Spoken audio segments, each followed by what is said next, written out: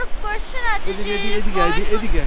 যে কমেন্ট করতে হবে যে three idiot is a true story comment right now okay thank you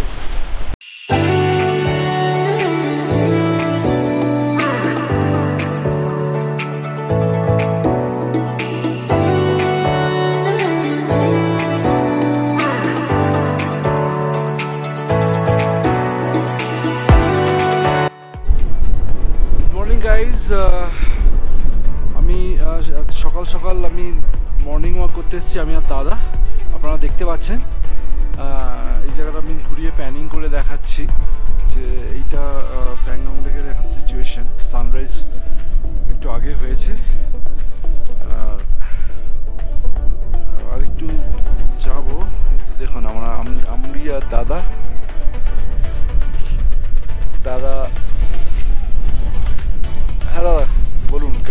কেমন বলুন এখন। কালকে রাত্রিবেলা তো প্রচণ্ড ঠান্ডা ছিল। এক তো হ্যাঁ। ঠান্ডার মধ্যে রাত্রিবেলা সেরকম ভালো ঘুম হয়নি। সাংঘাতিক ঠান- ঠান্ডা বলে বোঝানো যাবে না। তো. হাত পায়ের সার চলে যাচ্ছে এতটাই ঠান্ডা। তো তবুও তাড়াতাড়ি উঠে পড়েছি। কালকে রাত্রিবেলা অনেক রাত অবধি দেখছিলাম যে অন্যান্য টেন্টে সব গান বাজনা চলছে ডিজে ফিজে চালিয়ে। সব লাফালাফি করছে। তো এই জায়গাটা সম্বন্ধে একটা ভয়ের ব্যাপার শুনেছিলাম অনেক আগে থেকে, যে একটা ব্রিদিং প্রবলেম নাকি হয় বা একটা অল্টিটিউড সিকনেস মাউন্টেন সিকনেস এই ব্যাপারে অনেক মানে শুনে এসছি এবং মনের মধ্যে একটা ভয় ঢুকে গেছিল। এই এবং এই ব্যাপারটা নিয়ে অনেক পড়াশোনাও করেছি। যে যেহেতু এখানে আসছি হ্যাঁ। সেরকম বিপজ্জনক কিছু যাতে না ঘটে তার জন্য কিছু প্রিকশনস নিয়েও আমরা এসেছি আর কি। কিন্তু এখানে এসে দেখলাম যে যেরকম আমাদেরকে ওয়ার্নিং আগে থেকে আমরা পেয়েছিলাম হ্যাঁ। যে এখানে যাতে স্মোকিং বা ড্রিঙ্কিং এই সমস্তগুলো যাতে না হয়। কিন্তু এখানে এসে দেখলাম যে বেশ কিছু টেন্টে ওরকম ড্রিঙ্কিং চলছে বা স্মোকিং চলছে। চলছে এবং তারা বেশ বহল তবিয়াতেই আছে তাতে সেরকম কিছু হয়নি আর কি। ভালোই আছে। তো কালকে রাত্রিবেলা অনেকে দেখলাম যে ওরকম ড্রিঙ্ক টিঙ্ক করে অনেক রাত অব্দি নাচ গান চলল টললো আর কি। তো সেই জন্যে আমাদেরও শুধু শুধু দেরি হয়েছে ওই ওই হই- হট্টগোলের মধ্যে ঘুম টুম আসেনি। তো তারপরে সারা রাত অনেকটা রাতই জেগেছিলাম আর কি ওই ঠান্ডার মধ্যে ঘুম আসেনি। তো তারপরে দাদা যখন বললেন যে সানরাইজ হচ্ছে তখন আর বিছানায় শুয়ে থাকতে পারিনি। উঠে চলে আসলাম একদম এবং এসে মানে রিয়েলি মানে কি বলব? মানে হেভেনলি বিউটি যাকে বলে আর কি। পেছন দিকে বরফের পাহাড় আর এই সামনের দিকে প্যাংগং লেক তো কালারের একটা বিশাল কালারের কন্ট্রাস্ট উপরের দিকে পাহাড় আছে সেখানে শেডস আছে বিভিন্ন শেডস কোথাও সূর্যের আলো পড়েছে কোথাও পড়েনি। আবার কোথাও মানে পুরো বরফের পাহাড় চকচক করছে। আর নিচে পেঙ্গং লেকের বিভিন্ন কালার সেটা ক্যামেরায় কতটা আসছে বলতে বলতে পারব না। কিন্তু আমরা মানে চোখ দিয়ে যেটা দেখতে পাচ্ছি সেটা দুর্দান্ত মানে বলে বোঝানো যাবে না মনের একটা আলাদা শান্তি। মানে সারা রাত না ঘুমিয়ে এখন যে উঠেছি আর কি এবং তাতে হয়তো একটু কষ্ট হচ্ছে কিন্তু সেই কষ্ট পুরো ভুলে যাচ্ছি এই এরকম একটা বিউটিফুল ন্যাচারাল বিউটি দেখে। মানে সে বলে বোঝানো যাবে না। থ্যাংক ইউ সো মাচ দাদা। থ্যাংক ইউ সো মাচ এত ভালো একটা বিশ্লেষণ করার জন্য। হাই গাইজ আমরা এখন ব্রেকফাস্ট করব। ব্রেকফাস্ট টাইম নাও সাড়ে সাতটা থেকে সাড়ে আটটা। আর আমি ভিউটা দেখিয়ে দিই ব্লু ওয়াটার গাড়ি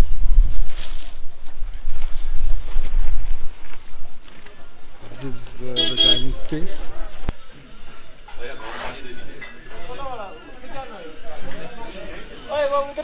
Poha আছে চানা বাটারা আছে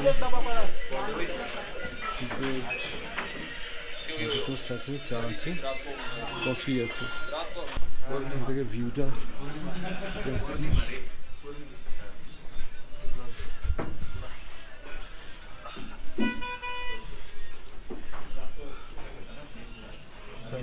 ভিউটা এখান থেকে দেখতে পাবেন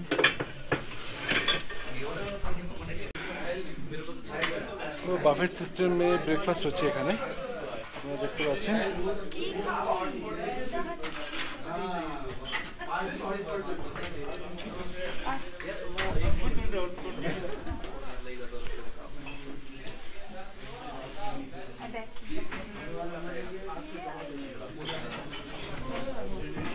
আমরা এখন ব্রেকফাস্ট করছি। আমার ছেলেও করছে। এইটা নেবে তো? গুড মর্নিং বল। ধরো ধরো ধরো। ধরো তুমি ধরো। আমরা এখন ব্রেকফাস্ট করে আমরা প্যাংগং লেকের ওখানে যাব ধারে। ওখানে থ্রি ইডিয়টসের যে শুটিং পয়েন্ট ওখানে যাব। তারপরে বিভিন্ন রকম অ্যাক্টিভিটিস আছে। আপনারা সিনেমাতে দেখেছিলেন। সেগুলো করব। হাই, আমরা এখন প্যাংগং লেকের ধারে আছি। আমার আমার সবাই মিলে আমরা এখানে ছবিগুলো তুলেছি।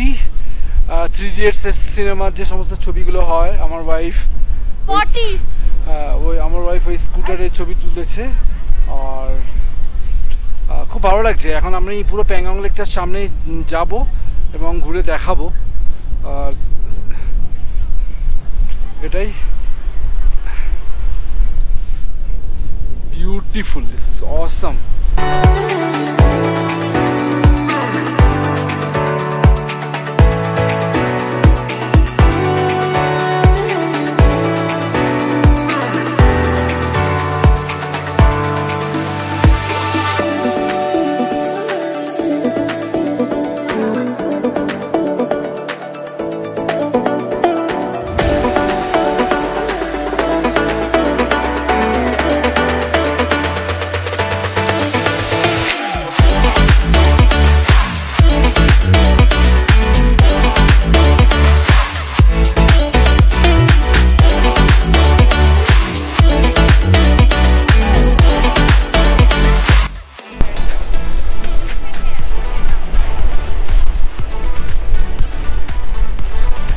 really awesome.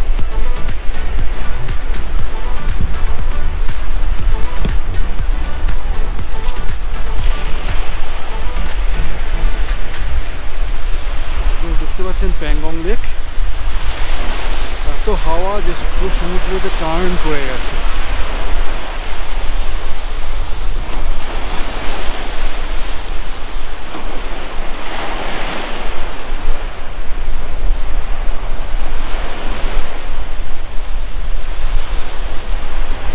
Really.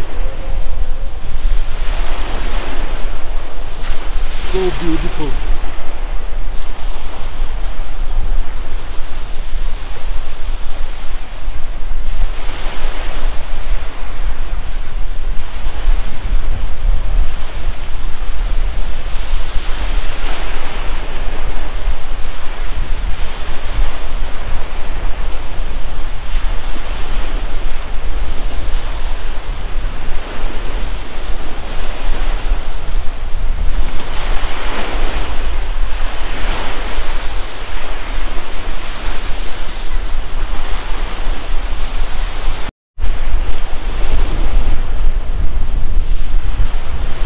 চলো ওই দিকটাও যাব।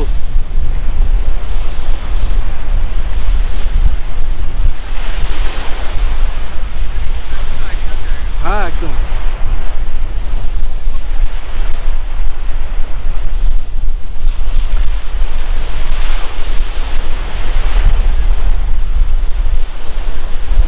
এখানে প্রি আপনারা দেখতে পাচ্ছেন প্রি ওয়েডিং হচ্ছে। দারুণ, এটা সব থেকে বেস্ট প্লেস প্রি ওয়েডিং শুটের জন্য।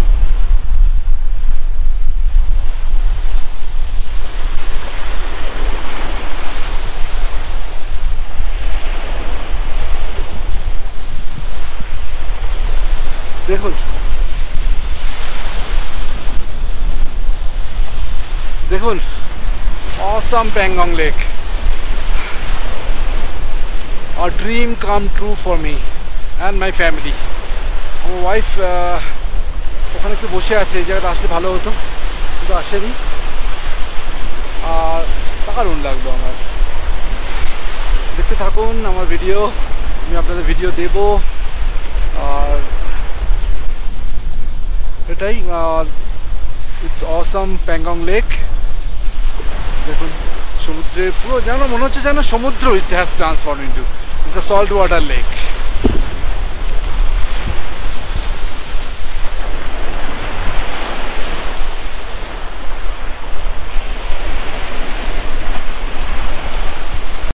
আমি এখনও প্যাংগং লেকে আছি, যেতে ইচ্ছা করছে না আমার জীবনে কিছু। মনে হয় যেন না ফিরি, এখানেই থাকি হ্যান্ডলে যেতে হবে। আমার সারাউন্ডিংটা আমি দেখিয়ে দিচ্ছি। ও awesome awesome blue water it has transform into a sea due to wind দেখুন, পুরো ব্যাপারটাই এরম। উদ্ধর্ষ লাগছে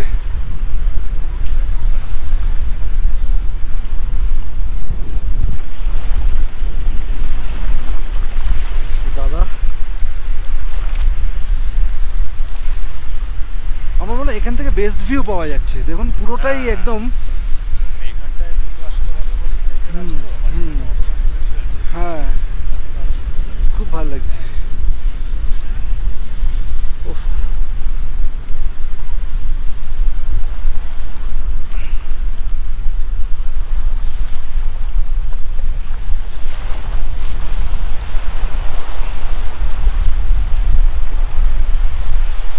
যাকে বলে একদম অসম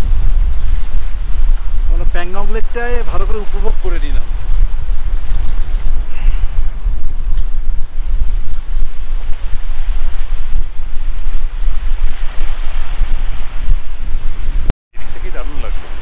হ্যাঁ। তো আমরা এখন ফিরে যাচ্ছি। ইচ্ছে তো করছে না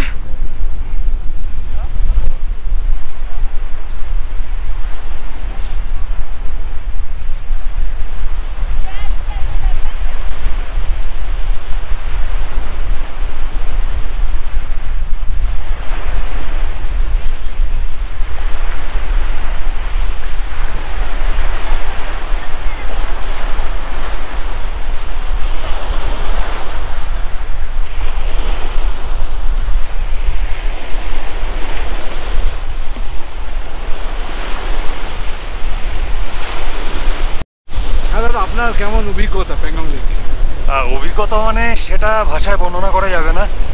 মানে এখানে অন দ্য স্পট আসতে হবে। কারণ আমি বলব অন্য লোকে বিশ্বাস করবে সেরকম টাইপের জায়গা এটা মোটেই নয়। আপনাদেরকে অন দ্য স্পট আসতে হবে এই জায়গাটা ফিল করতে হবে এবং বুঝতে হবে জিনিসটা কীরকম। পেছন দিকে দেখুন ফটোশ্যুট হচ্ছে।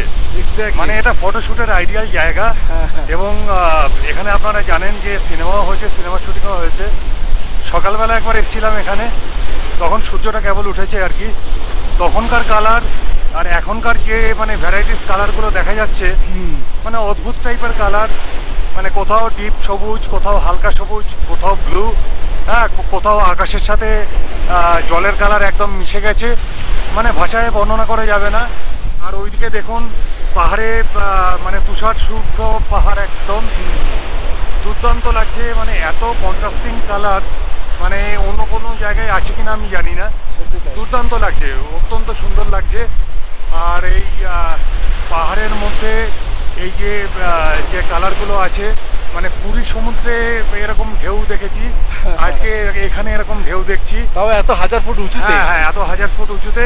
এবং এটা আপনারা জানেন কি এটা একটা সল্ট ওয়াটার লেক মানে হায়েস্ট সল্ট ওয়াটার লেক যেটা বলে আর কি। তো তার মধ্যে এরকম ঢেউ এক্সপেক্ট করব। একমাত্র সমুদ্রেই এরকম ঢেউ দেখা যায়। হ্যাঁ। যেটা কিনা আজকে আমরা এই লেকের মধ্যে দেখছি। এরকম ঢেউ কিন্তু সমুদ্রে পুরী সমুদ্রে দেখেছি বা অন্যান্য সমুদ্রে আমরা দেখতে পেয়েছি। কিন্তু এই লেকের মধ্যে যে এরকম ঢেউ দেখতে পারব এটা আমাদের কল্পনার অতীত ছিল। সকালবেলা যখন এসেছিলাম তখন কিন্তু এরকম ঢেউটা ছিল না।